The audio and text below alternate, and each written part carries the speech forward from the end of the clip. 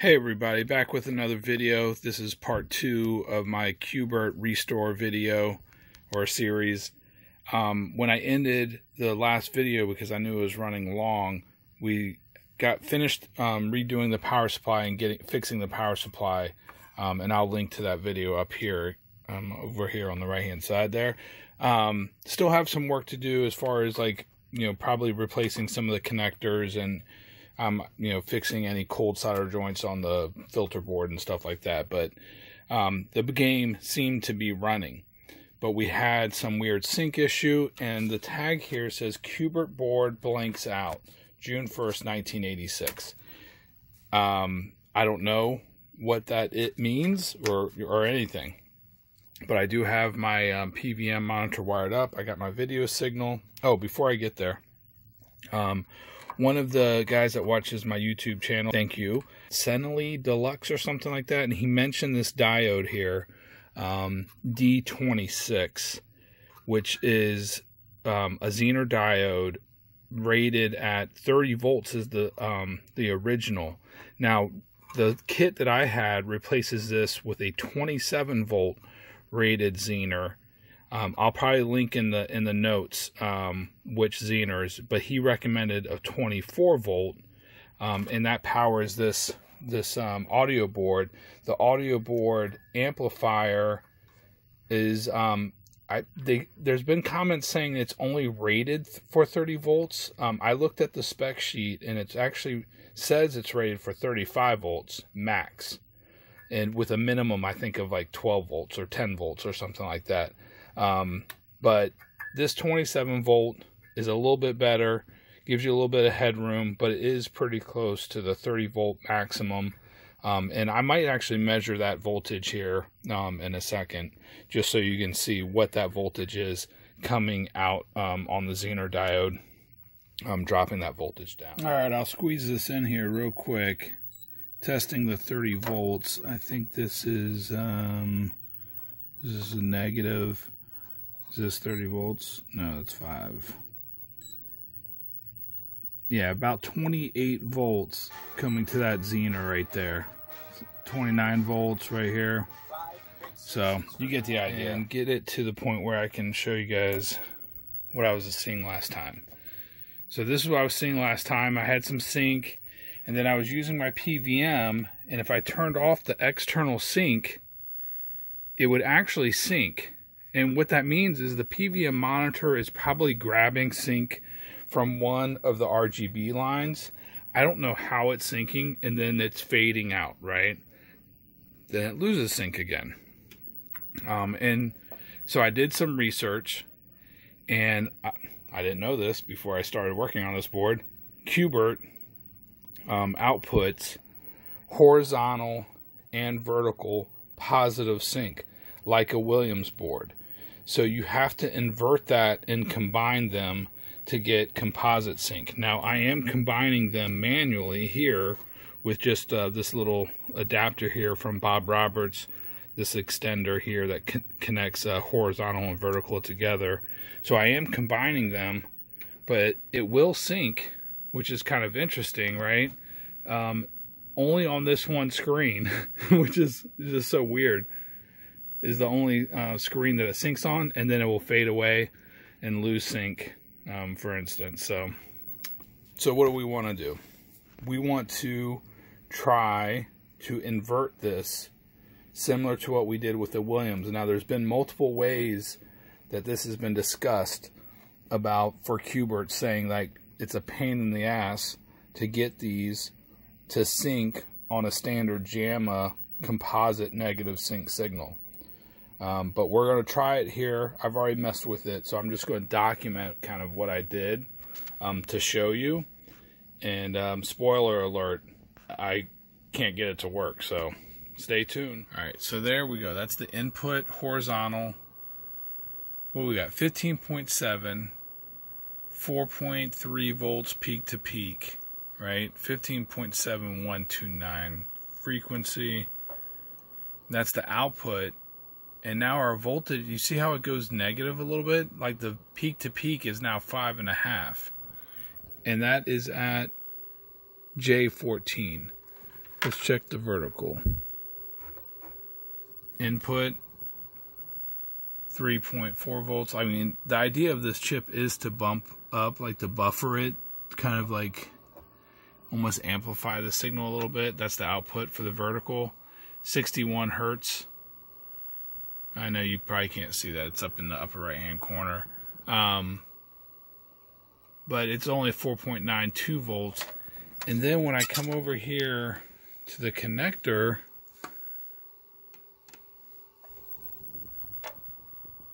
we got a voltage peak to peak. It's like gaining voltage, 5.2 volts over here at the connector somehow. And 6.2, 7, almost 7 volts peak to peak, peak to peak on the 15.7 kilohertz. Like through the, I don't even know what the hell. I mean, is it capacitors on that line or something? I don't know how that signal is getting going negative and stuff. It's probably got some interference or something like that. And I don't know if that's the issue or not. All right, so what I did is I just like I did on a Williams um, adapter. Oh boy. Um, put it at 7404 there. I just wired it up on this little board here real quick. And I have the signal coming in. This is vertical sync coming in so you can see what a positive horizontal sync signal looks like. So it's normally low and then it goes positive, right? And the 7404 inverts that on the opposite pin. So it flips it from going high to low. And that's negative vertical sync. And you can see um, 4.7 volts uh, peak to peak, which looks pretty good. One thing is it's 61.7 hertz, so should be around 59 um, hertz or 50, almost closer to 60, 59 point something. Um, the other thing is I do not have this connected, my output connected to my cable, and when I do that, I get a lot of um, a lot of noise on the signal. So let me show you what that looks like when I have it connected. Not that I think that's a problem, but there is quite a bit of noise there. As you can see, versus it being disconnected. Um, let me go ahead and wire up a couple other pins um, and see if that helps the sync. But yeah, we're still still kind of screwy, screwed up here right now.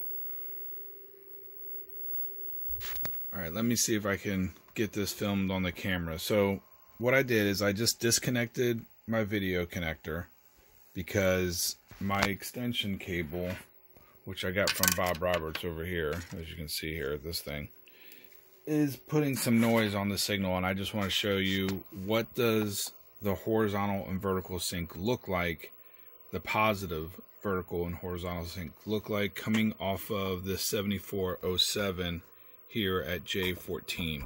That is where it gets where's it at? Um, that's where it gets kind of like amplified or buffered. It's like an open collector something, high voltage buffer something. I don't know, 7407. Um, it just basically takes what's in um, one pin and puts it out another pin and buffers it. Um, and then it comes over, I think, over to this connector, and then it goes through either some capacitors or something here on this filter board and then outputs there. So let's go ahead and, oh, it is powered on. There you go. So let's go to our horizontal sync. This is the coming in. It says it's 15.7128 kilohertz.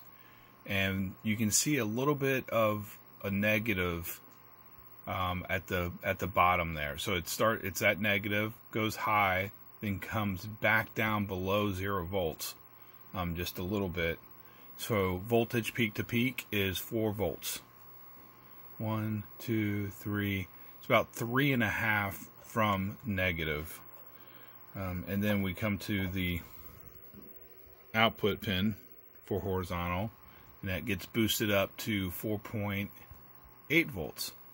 It actually looks a little bit cleaner on the down on the negative side. See that? Like it's closer to zero. It doesn't go below zero volts, but uh, voltage peak to peak is 4.8 volts, frequency 15.7, which is what we'd expect. Let's look at the, let me adjust it. That's the vertical.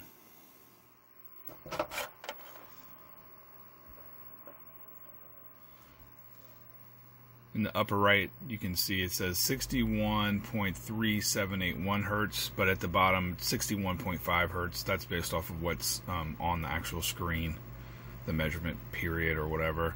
But uh, voltage is 3.44 volts peak to peak. And then we have 5 point something volts with a little bit noise at the top there Alright, now I'm going to come over to the filter board and we're going to look at horizontal frequency first.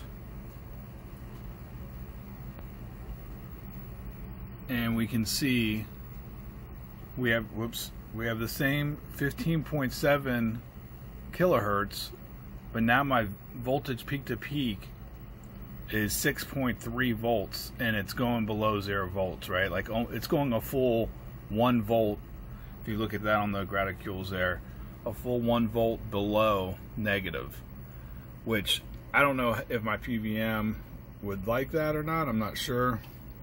If we look at our vertical, it's a 61 um, hertz, but it's not as bad. Um, the signal there, it's uh, five volts. So is the 7407 like you know, bad or not as good. I, I have no freaking idea. Why'd they even use a 74? Why didn't they just use a normal buffer? Why'd they use a 7407? Um, it's kind of weird. The other thing is, let's look at red. The game is running. If you look at the colors, you can see there is a negative sync there. You can see like stuff going on at the very top. I know it's a little bit difficult to see, but then you see this um, net almost like a negative sync, negative 15.7 kilohertz. I haven't really analyzed this before on a normal PCB, but like there's the colors being drawn, all the activity.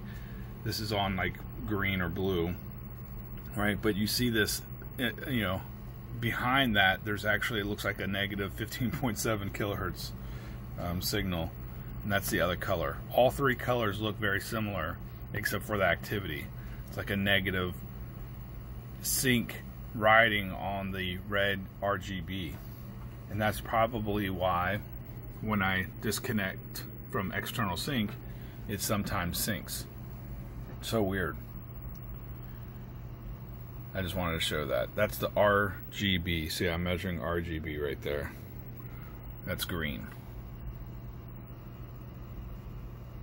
And voltage peak to peak is not, you know, it's nice nice uh, signal there. I mean, it's 3.6 volts. It doesn't go below zero volts. All right, I learned a little bit um, as I was doing this video, and I wanted to come back and put this in at the appropriate spot. Uh, what the signal that um, the PVM was syncing on, and that 15 kilohertz signal I saw was actually the blanking signal. Um, then it gets fed in. The color outputs come from these color rams right here and it gets fed into um, you know mix basically with the blanking circuit. And so what I did is I'm going to come to one of the collectors not collectors is it? Yeah collectors of one of the PNPs this is like one of the colors. And basically I have the blue is the blanking signal and the yellow is the color output and if you noticed, I wasn't get it was kind of hard to see, but as the blanking signal goes down, um, you know, it's the screen is get redrawing from you know the bottom of the screen all the way to the top again, and then we'll start to see colors again. Um, and so you can kind of kind of see that where, where while that blanking signal goes down, you don't actually see any colors being drawn to the screen. I think it's it's not called the front porch and back porch. That's no. This is um. I don't know. I get. I need to do some more reading. But anyway, that's what it is. I mean, that's the blanking signal, and then as the blanking signal's high, it's you know writing to the colors to the screen. I'm just going to go to a different color. That's uh, probably blue or, or, red or green.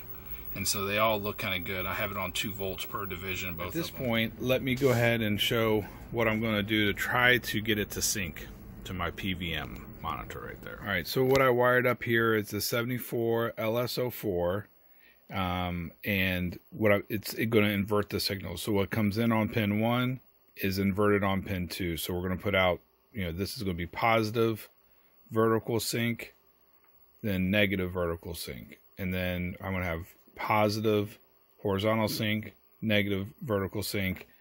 Those are I'm picking up the signals right there from the filter board, and then those come in as my inputs, and then my outputs are going to my um, connector right here, which runs to my PVM, and I'm just putting them both on the same connector because my PVM is composite. So I'm not doing an and. Um, I'm doing, I'm just inverting and then manually combining them, um, just tying them the horizontal and vertical together. Sometimes that works. So let's go ahead and power up. And yeah, and see my colors are, are off now too. I don't know if you guys noticed that. Now it's just like a big white screen for some reason. And I don't have sync. it still will sync like that, but I ha don't have blue. I don't have, I don't know what's going on there. And my external sync is not working. Let's just show you what the difference is here. If I can do this holding my hand. So I'll show you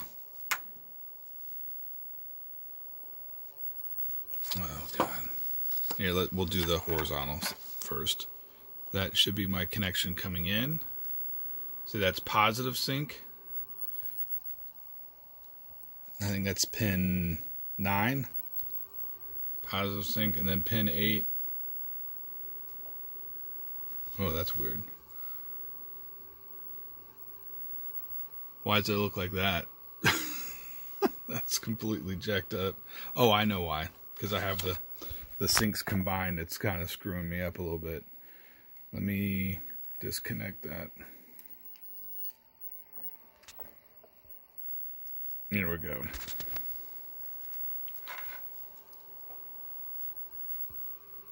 All right, so there's, um, I can hold it on there, good. So that's our negative sync pin 9 right there. Pin 8, positive sync, horizontal. Pin 9, negative.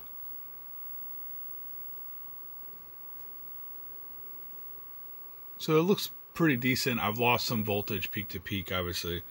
But um, if I combine them, it still doesn't sync. And colors look weird. It's all like white, bright white in the background, which is strange. I don't know what's going on there. So the only other thing I can do is wire up another chip and then take those and and them together.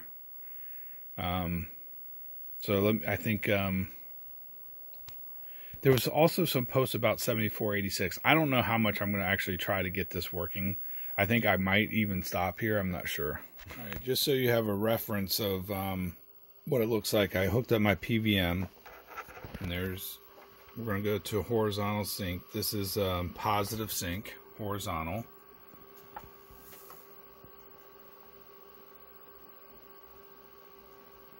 Yeah, you get, you know, 15.7168. So it's like identical on the horizontal side. 15.7168 now down below it's you know it's not it's rounding probably. Um, as you can see there. But looks good. No negative spikes or anything like that. Go to the positive uh, the negative sync side on the PVM and you can see the difference between a negative sync and a positive sync signal and this definitely works. Let's go to our RGB. Definitely TTL levels here. You can see. What's interesting is that is the sync there. Maybe that's the H blank signal that's in the background of the colors as well. which is kind of interesting.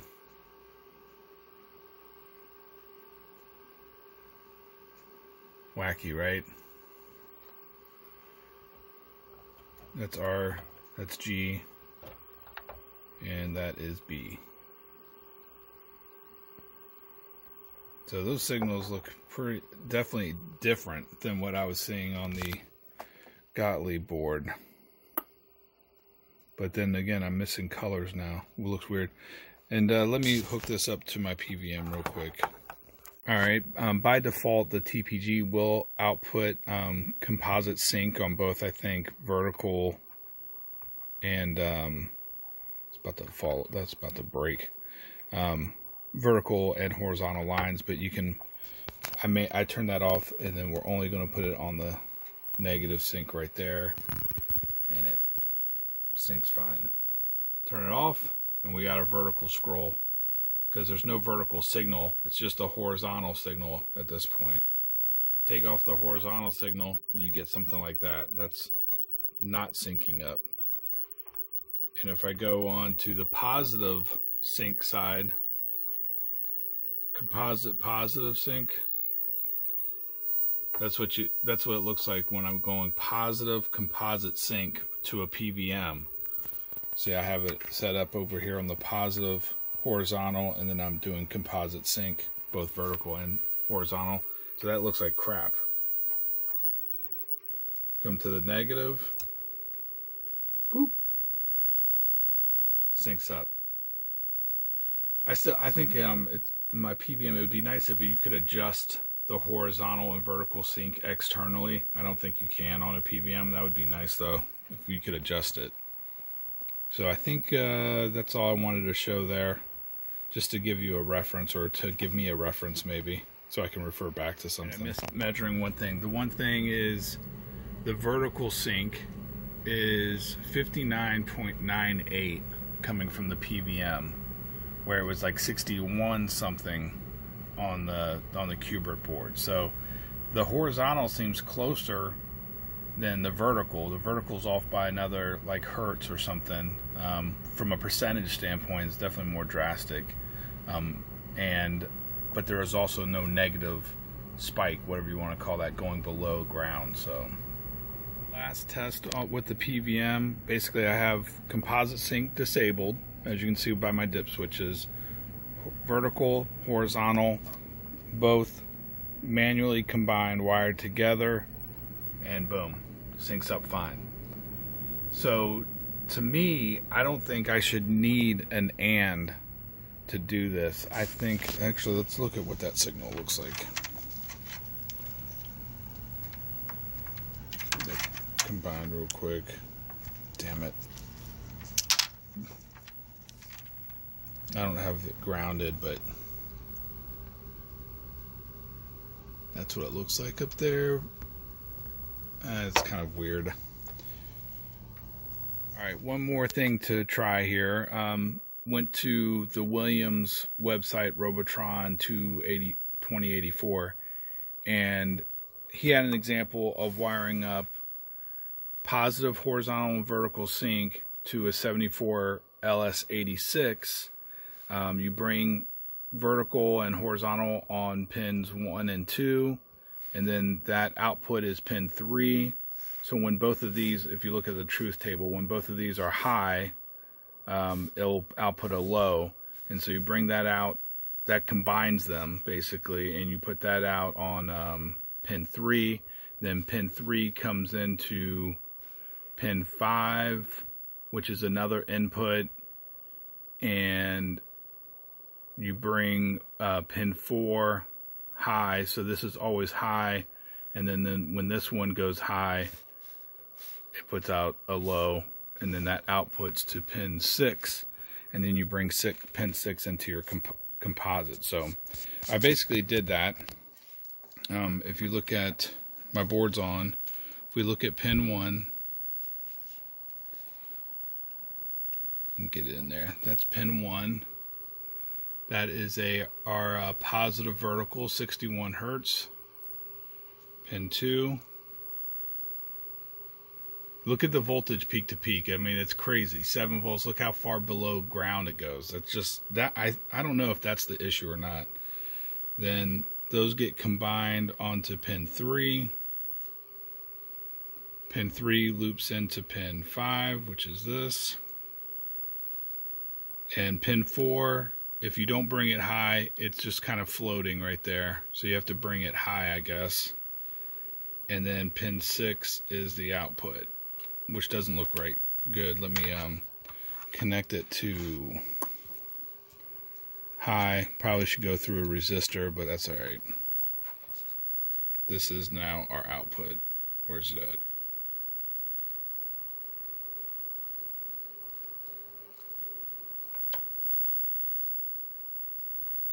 No, that's our output. I don't want that. All right, now I brought pin 4 one, two, three, four. Yeah, I brought pin four high. Coming here to our output. Why does that look jacked up? I had my freaking probe got switched to 1 and 10 to 10x. So this is our output right there. Oh crap. Is that? Pin 3. Pin 3 Four is high now. Five. And then six.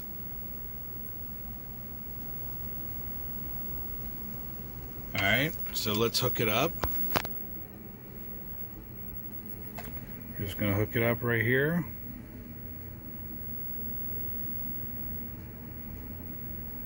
Well, if I can.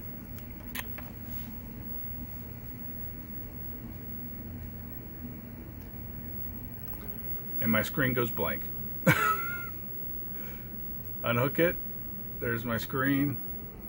Scrolling like crazy. I, I don't know what. I mean, it goes blank. Oh my god. Why is that? That didn't work either. So what's the next best thing to do? Can't figure out the sync issue. Go ahead and hook up the 4900 monitor. I have it wired up to the output of this transformer. I have my output here, video output sync. It's positive sync going to the monitor and we'll turn it on. And we'll look to see what our monitor does. I already did this. Now, one thing that's interesting is yesterday when I did it, the colors were correct. Just like when I started this video on the PVM, the colors are correct. But now there's just a white background, like the colors are completely off. Maybe we lost blue or red or I don't know what's going on, why it's so bright. For instance, wow, the sync is totally jacked. There we go. That's a little bit better. the camera had to pull back a little bit. So yeah, now maybe that's what it meant that Qbert fades out or something, or maybe going to black screen. I, what the hell is going on? It doesn't make any sense to me. But we got some some type of issue going on color wise, and it's not the monitor. All right, obviously the sync is still an issue, but um, fix the color issues fixed, right? What the heck is that all about? So I was looking here at the color section um, quite a bit off camera, and I came to these color ROMs or RAM, the color RAM right here. And I think it outputs like four different intensities or something like that with the different resistors there. But pin three. Oh, why is that just just high now? For some reason. Up. Now it's going.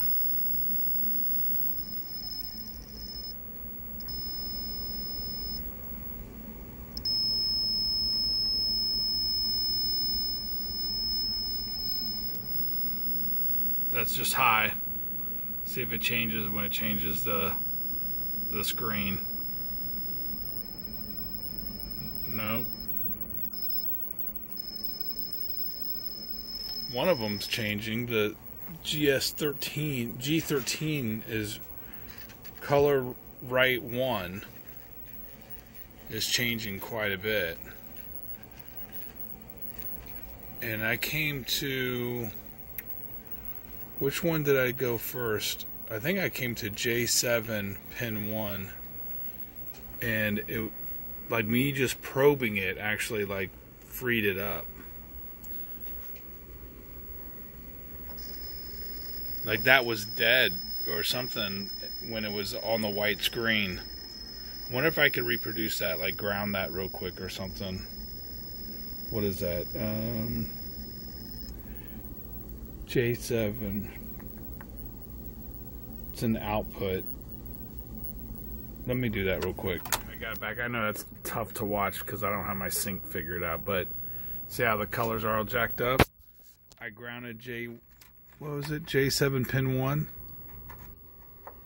I grounded it real quick and now it's not doing anything. It's like stuck. but if I, oh my gosh, let me see. Can I unstick, get it unstuck again?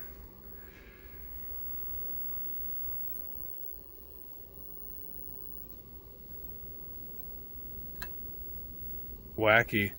Check out what's happening if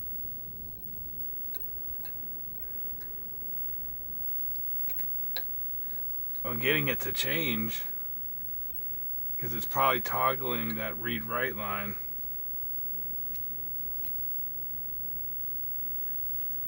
Yeah, wacky, so weird. Not getting any reading at all. I wonder if that chip is bad. Nope,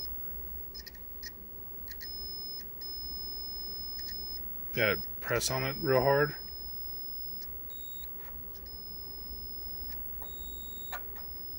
Okay, so now it's at least giving me a high signal. Alright, I'll have to inspect the bottom of the board for a cold solder joint. I clipped the leg at J7 pin 1 and I still, you can see I don't get anything when I probe pin 1 but I cut it and then I jumpered over here, um, F6 pin 11, which is F6 pin 11 comes out, 74LS comes in the pin 1 of J7. There's got to be a break there or something. This pin is just floating, and sometimes it would make contact, I guess, and sometimes it wouldn't. But my color RAM are all going nuts now, which is the right thing to do. No, you can't really, you can't even see that. It's down here. Right there. Yeah. And I have good colors again. So the color RAM just wasn't getting enabled, and that's what made it look like the colors were inverted, but what they were is just like stuck on. You power the game off and you power it back on. Here, actually, I'll do it real quick. So I'll just, this, well, first I'll show you that. You can see the colors, even though sync is all jacked up. It's got color. Alright, and then we'll unhook this. And now we have that color there. We'll power off. Power back on, and it'll look like that every time.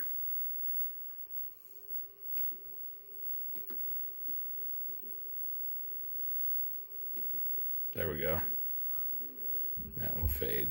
So, anyway, um, looks like none of the chips are bad. It just was, um, it's floating. So maybe a cold solder joint or something else, and maybe that's why it said Q*bert board blanks out. I don't know what's going on there. All right, I think I found our problem. Let's see here.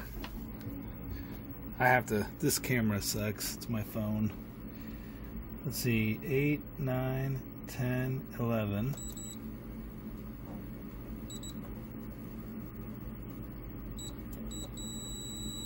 uh, okay and then if I come over here yeah so it's making contact there's like a little bit of corrosion on that pad um, I'm able to make contact with it on this side of the trace, but not on this other side, which is weird. 8, 9, 10, 11.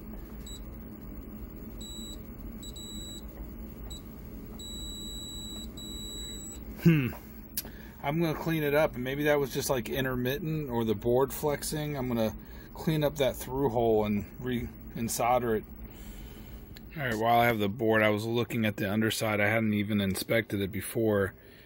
These do look like factory modifications or bodge jobs or something. Those are fixes. But there's also this ROM here, or RAM, I can't remember, I don't know which one, that looks like it's had some solder work done on it. Everything else looks fine. Like I don't see any any other work, you know, besides right there, which is kind of interesting. I don't know if I haven't looked at that on the Q*bert before. I have to do some research and that right there. But um, I fixed the through hole and I tested it. I'm just going to clean it up a little bit more. I think it's right there. It's right there. I'm just going to solder it out and then suck the solder out and then redo it. Screwed around enough with this today. Let's go ahead and hook it back up to the the real monitor. We'll power it on. Power switch here. Let's see what we get.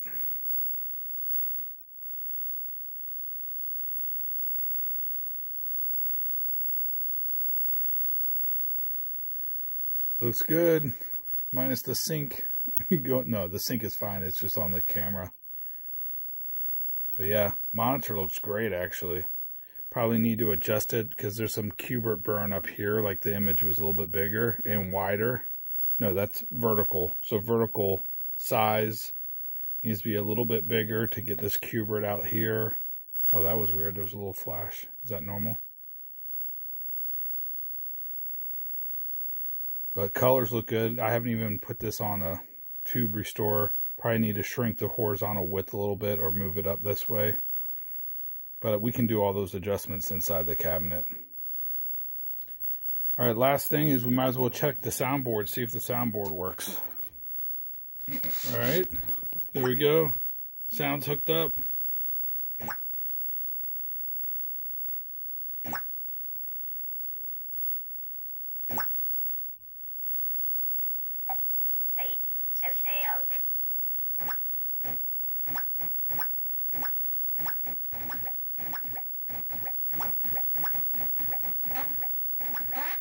I wonder if that's what it was when it says the board blanked out sometimes or faded out or something.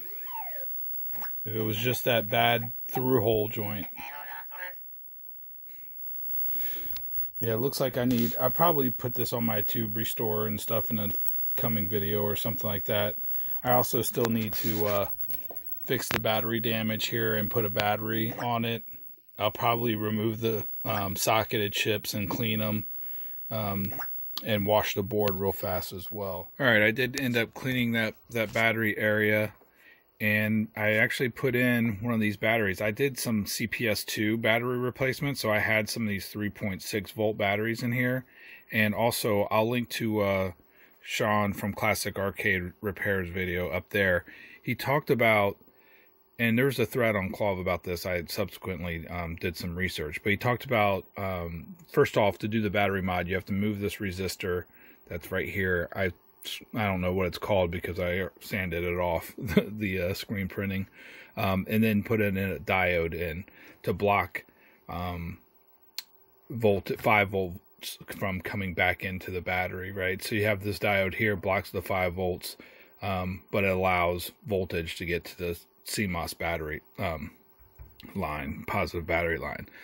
But anyway, Sean mentioned um, using a Schottky diode so to um, lessen the voltage drop when using a coin cell battery, because I think CMOS has a voltage, you know, I don't know, it needs like at least two point something volts. If you have a three volt battery, with like a 0.6 or half a volt drop, you're already down to 2.5. But if you do um, a 3.6 volt battery and you do a volt, you know, have a half a volt voltage drop across the diode, you're still at a good three volts. Um, so I figured I would show that. But the other interesting thing is, I'm all zoomed in and everything, holding my camera here. um, actually, the first battery I did, and this is a brand new battery. Let's see there. Come on now. Brand new battery. And it's dead. it is a brand new battery. I had this damn thing on there. I didn't even test it before I put it on there. What's the date? 1222. Come on now. How I get a bad battery? But otherwise, um, everything looks good. I did not end up replacing that socket right there because um, I just didn't feel like doing it. I cleaned I cleaned the whole board with toilet bowl cleaner, and I did get the corrosion you know off the socket. Now, if I was going to need to put something in the socket, I would replace the socket because it's not great as far as the legs go. But there's no corrosion on there anymore. But it's just not great right there. But the rest of it, this pad came off, so I had to kind of jerry rig something. But the rest of it looks pretty good, I think. I don't think there's any more corrosion on there. Um, and board still works. I also, um, I'm going to probably get some Schottkys. I need to place an order and stuff, but I just put in a signal diode. I think it's like a one in one in four four four eight. The it calls for something different, but whatever there's 2.8 volts is how much I'm getting off the battery on the other side of the diode. So there is a, quite a bit of voltage drop. You know, you're going from like 3.5 volts to, you know, it's 0.6 voltage drop, 0.7. So, yeah, not ideal.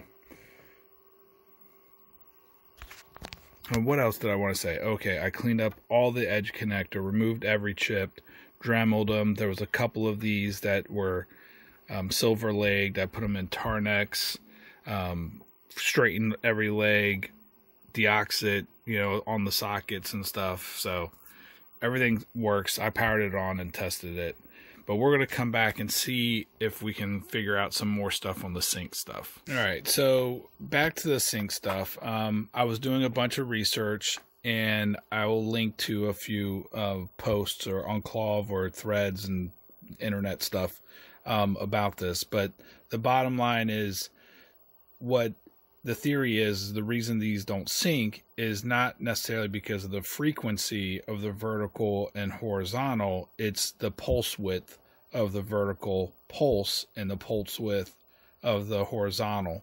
Um, so, what I figured we'd do is we'd go ahead and hook up um, my TPG. I have it on positive horizontal sync. We'll turn it on. Oh, shit. we'll turn it on and we will connect to it. All right. Um, and with this Rigol, I can um, actually put some measurements in here, and you can see that on the positive horizontal sync, we have a frequency of 15.7 kilohertz, and the pulse width, the width from halfway, I think, up, you know, going up and halfway coming back down, I guess, is uh, 4.6 microseconds.